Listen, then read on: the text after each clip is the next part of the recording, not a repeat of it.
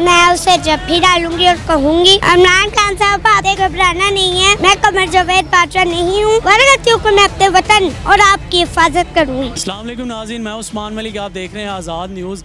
Zaman park में police का तो पता नहीं आती है कि नहीं आती लेकिन आर्मी चीफ यहाँ पर बजाते खुद पहुँच चुके हैं। बाकी बातें इन्हीं के साथ करते हैं। आप आर्मी चीफ बनकर आई हैं? जी। करने के आई हैं यहाँ पे? इमरान की हिफाजत करने आई हूँ। लेकिन इस टाइम तो आर्मी चीफ लगता नहीं है कि जैसे इमरान खान की हिफाजत होएगी। हाँ? आपको अच्छे लगते हैं जनरल बाजवा? नहीं।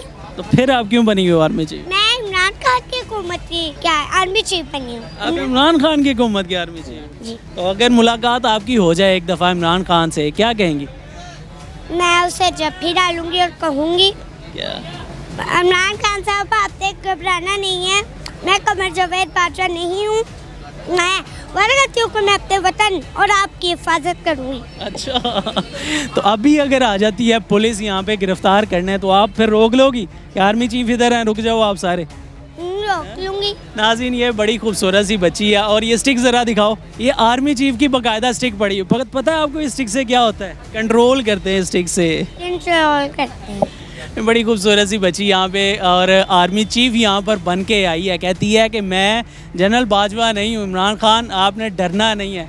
मैं आपकी हिफाजत करूँगी, गिरफ़्तार नहीं होने दूँगी। ये ननी सी बच्ची यहाँ पर मौजूद है। लम्हा ब आपको यहाँ से अपडेट करते रहेंगे। देखते रहिए आज़ाद न्यूज़ और मैं उस्मान मलिक।